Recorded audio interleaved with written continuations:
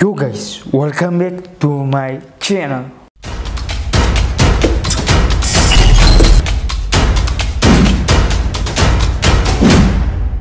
Halo Patrick, di sini ada dua sebenarnya. Patrick dari Mobile Legend dan Patrick dari OP ya. Kalau Patrick Mobile Legend agak terkenal gua agak awalnya agak kaget. Apakah dia yang udah punya nama besar di Mobile Legend ternyata dari tim OP. Ini gua nggak kenal sama sekali OP Patrick ini. Oke, di sini gua bakal ngejelasin dulu. Uh, sebelum kita ke masuk sebagai inti dari siapa sih OP Patrick? Nah, sebelum itu apa itu nama OP? OP itu adalah tim e-sport, teman-teman. Jadi tim e-sport yang dulunya sangat terkenal dengan cewek-cewek yang direkrut dengan body yang wow, wow. Ya tidak, dia tidak mempunyai bakat di dunia game, bakat badannya bagus dan wajahnya good look. Lo bakal direkrut menjadi OP. Oke, itu adalah tim e-sport yang biasa bermain dengan Free Fire, main game-game Mobile Legend kayak gitu lah ya. Oke, dan nama dia mulai naik karena dia sering upload di TikTok. Oke, kita udah bahas itu sekarang. Sekarang kita bahas OP Patrick. OP Patrick sendiri adalah seorang user, pemain Mobile Legend juga. Dan dia adalah seorang influencer dari TikTok. Dan dia direkrut sama OP karena video-video dia yang sangat keren-keren ya. Dia adalah pengguna Johnson. Yang gue tahu seperti itu. Dan untuk memperdalam lagi siapa OP Sport, gue kurang tahu informasinya cuma buat kalian yang tahu silahkan komen di bawah karena gue kekurangan informasi buat mencari nama dia. Ternyata dia tidak terkenal. Dia hanya terkenalnya uh, ya seorang influencer ya di dalam dunia game oke kasusnya yang bermasalah apa jadi kasus yang bermasalah jadi si Opi atau si Patrick ini si Patrick ini dia ini uh, kayak punya hubungan lah dari cewek di daerah Hong Kong uh, dari melalui aplikasi TikTok berhubung dari aplikasi TikTok tersebut, akhirnya si cewek kenalan lah deket. Terus si Patrick berusaha ngebuat video call. Dan dengan gombal-gombalan-gombalan, dengan percakapan yang kita tidak semua tidak tahu. Karena barang bukti tersebut tidak bisa disebarkan dan dipegang dengan polisi. Udah barang-barangnya udah diamanin. Dan berhubung dia video call, nah ya dengan bla bla bla singkat cerita, si cewek ini uh, buka baju lah. Eh, jangan gua juga dipraktekin. Gue pusing punya harga diri. Nah, terus dia buka baju, padahal perjanjiannya di sini sama si cewek nggak boleh direkam. Ternyata si Patrick pintar, dia direkam. Setelah direkam, apa yang terjadi? Dia coba memeras. Ini udah kayak lo dapet bu, uh, uh, dapet emas, terus uh, lo pengen lagi emas gitu lah ya. Jadi kayak double gitu. Ternyata si cewek ini pintar guys. Jadi dia nelpon dari kepolisian di Hong Kong buat ngelaporin si Patrick kalau bahwa ini tindakan pemerasan dan pengancaman. Terus dari pihak Hong Kong terus menghubungilah pihak polisi internasional kan mereka polisi sesama polisi ada udah tingkat internasional ya jadi saling menghubungin dan akhirnya si Patrick ketangkap singkat cerita seperti itu oke langsung aja kita mulai tonton kejadian-kejadian yang mungkin gue bantu jelaskan secara singkat di video ini sebelum itu jangan lupa klik tombol subscribe gue udah ngoceh banyak banget langsung aja kita mulai dengan video-video ini oke oke jadi di sini gue punya dari akun TikTok ini dan ini udah ditonton sekitar 300 ribu orang hampir ya. Mungkin besok 300. Oke, di sini ada tulisannya. Dikasih pap bukannya bersyukur, malah ngancem, Bang. Itu adalah si Pedri.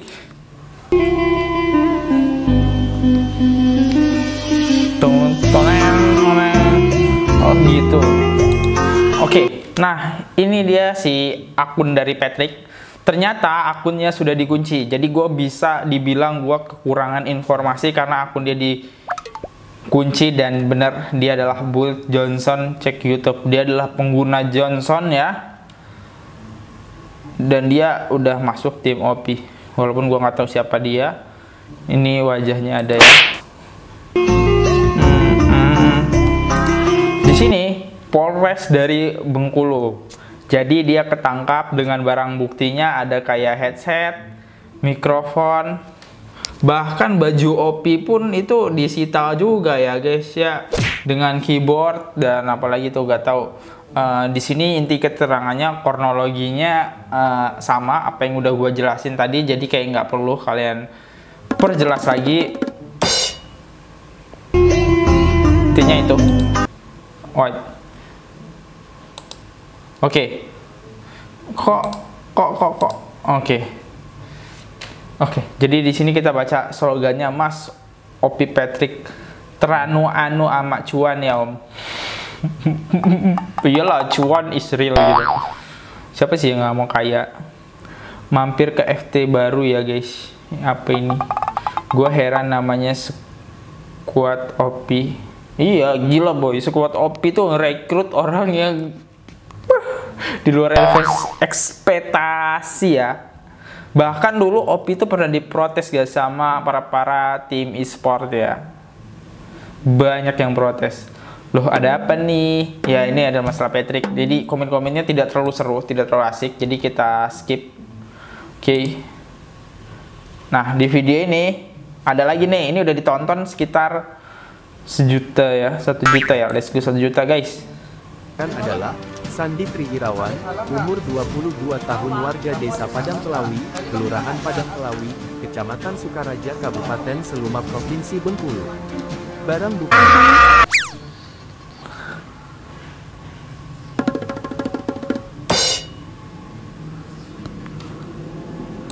yang berhasil diamankan adalah Sandi Triirawan, umur 22 tahun warga Desa Padang Kelawi, Kelurahan Padang Kelawi, Kecamatan Sukaraja, Kabupaten Seluma, Provinsi Bengkulu. Barang Oke, di video ini eh, nggak uh, jelas banget, tiba-tiba jedak jeduk, tiba-tiba gerak dan ya, ya karena di TikTok lagi memakai efek jedak jeduk itu Israel gitu, jadi kayak gitu ditunggu jersey oren tahanannya nak. Udah dikasih emas minta berlian ini lah ya. Uh, ini betul kak? Iya betul lah. Bro gua kudet kurang update. Oke okay. jadi Patrick sejak kapan ganti jadi dia? Kan gue bilang ada dua Patrick bos jadi Patrick Mobile Legend yang terkenal. Dan ini Patrick OP yang gue nggak tahu juga asal usulnya di mana. Tapi jumlah followersnya banyak guys. Kan setahu gue Patrick itu si Yusron pacarnya Olive pengen tahu aja. Jadi guys kalau kalian tahu cari di Google Patrick pasti yang keluar. Bukan Patrick dia Patrick yang udah agak terkenal ya. Bukan agak lagi sih dia terkenal ya di dunia Mobile Legend maksimal kronologi kronologi udah gue jelasin tadi jadi kayak kita nggak perlu bahas lagi turu dek dek. Ya turu silahkan turu next video kedua ini apa? Oke okay, di sini. Huh. Jadi uh, ini kayak barang-barang bukti ditangkap dan dia jadi ini pakai baju opi dong motherfucker men nggak pakai baju oren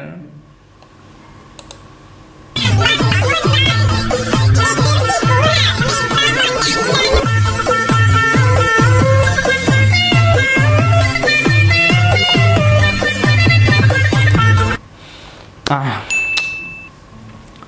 Oke, okay, kita baca lagi komen-komennya. Semoga ada yang asik ya. Kasus pemerasan ya adik-adik ya. Ya ini kasus pemerasan. Betul sekali. Beda Patrick deh. Yang lain pada salah sangka aja. Si dikira Patrick beneran padahal yang 8 byte sih. Anjir 8 byte. Iya sih 8 byte sih. Jadi ini tuh Patrick KW ya, bukan yang real ya. Patrick dong. Sama. Sumpah guys ada yang pemikiran sama kayak gue gak sih kalau yang tertangkap tuh Patrick? Wah nanti thumbnailnya bisa nih. Masuk deh jadi gue Patrick asli aja biar kalian tipu ya. Ya oke jadi kalian harus nonton sampai habis ya. Kalian ketipu juga. Gue senang nipu orang. Eh yang penting gue nggak ngelakuin pemerasan lah ya guys ya. Tidak seperti itu. Udah dikasih emas minta berlian. Ini kronologinya dia di penjara ya. Kita tonton Identitas pelaku yang berhasil diamankan adalah Bentar, bentar, bentar. Ini dilihat-lihat kok kayak ada anak berandalan ya? Oke. Okay. Nggak pakai baju, rambut dicat dengan warna emas, gold, dengan badan kurus. Kebanyakan main game guys ini. Lupa makan dia. Tapi dia kebayar lah dengan hasil 1,2 juta followers di TikTok itu hal yang banyak banget teman-teman. Nggak semua orang bisa loh. Andi Triirawan, umur 22 tahun warga Desa Padang Pelawi, Kelurahan Padang Pelawi, Kecamatan Sukaraja, Kabupaten Seluma, Provinsi Bengkulu. Barang bukti yang berhasil didapatkan dari tangan pelaku yaitu, satu unit earphone merek Cyborg, satu unit HP ROG di warna hitam, satu unit mikrofon merek Nemesis, satu unit keyboard merek Jovitech, Satu buah kaos hitam oranye tulisan Opi Patrick. Satu buah kasur. Satu buah spray warna biru. Satu buah akun TikTok atas nama Bentar, bentar. Eh, eh, polisi bawa kasur buat apa guys? Sebagai barang bukti. Gua agak kurang paham sih. Bahkan ini sampai merek-mereknya pun disebutkan. Tapi bagus sih, lebih detail ya. Akun Opi Patrick.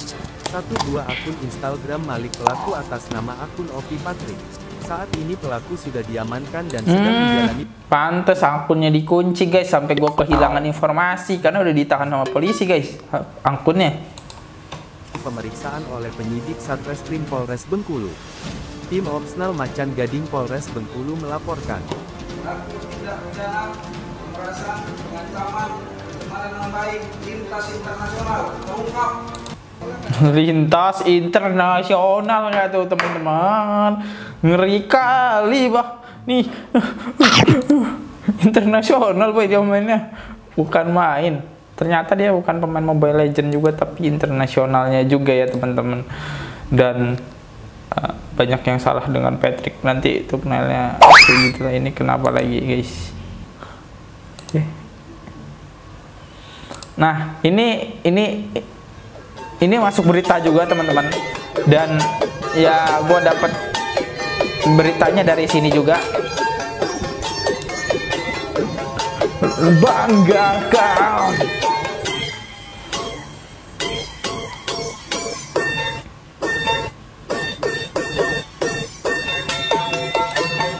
Satu koma dua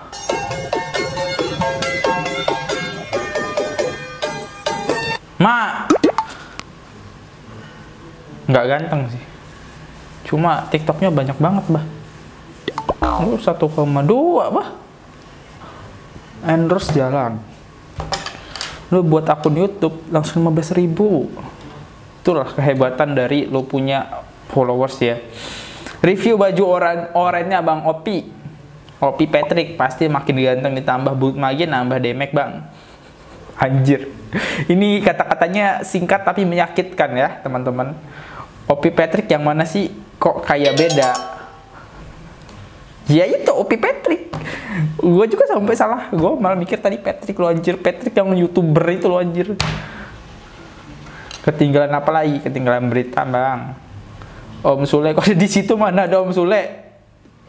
Oh ini anjir Om Sule.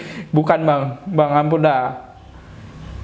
Anjir mana mana tuh akun udah 1 M? Iya asli. Sumpah 1 M boy akun. Gimana? Jadi eh, kalian sudah paham kan? Siapa itu Opi dan itu siapa Patrick? Nah nanti tuh filenya gue kasih nih. Jadi kalian nggak boleh marah-marah guys. Itu hanya gue mau nipu kalian juga ya. Ya sekali lah. Ngaku prank-prank buat thumbnail itu kan asik ya. Gue juga ketipu masalahnya. Bukan kalian aja. Setelah gue telusuri gue ketipu. Dan gue dapat sumber ini. Apa yang gue bilangin tadi gue dapat sumber dari berita juga. Itu dari detik Sumut ya Sumatera Utara dan karena gue tinggalnya di Sumatera Utara sama. Oke mungkin video cukupnya masih sampai sini aja. Siapa yang kira-kira kalian bakal ketipu dengan video-video kayak gini? Gue kira bakal Patrick yang itu yang agak terkenal. Bukan agak terkenal ternyata Patrick 8 byte. 8 bit padahal 8 bitnya gila. Netizen tuh sangat menyakitkan ngomong. Oke thank you guys. Uh, see you again. Sampai ketemu di next video ya. Mungkin sampai sini aja. Thank you yang udah nonton video ini and see you. Bye sampai ketemu di next video